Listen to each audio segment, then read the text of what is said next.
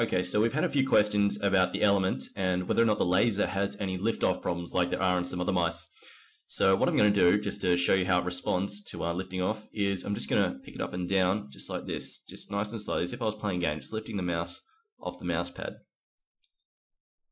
And I'll show you what it looks like on the screen.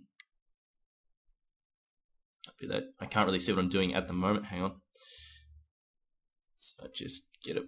There we go. All right, we'll put it on the screen now. Okay, so I'm going to start doing it now.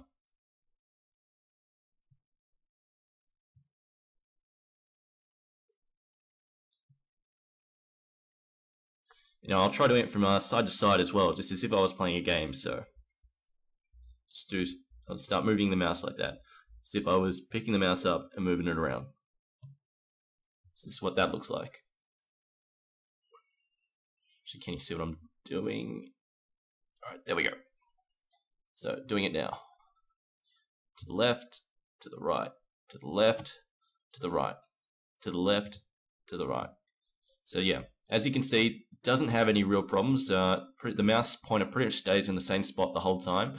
Uh, definitely no problems like the Razer Imperator, which has that issue where it always moves to the southwest every single time you pick the mouse up off the uh, off the table. Um, if anybody's interested, the uh, surface I'm using is a TT Dasher. It's a cloth surface. I'm not a huge fan of uh, hard surfaces, just in case anybody's wondering about that.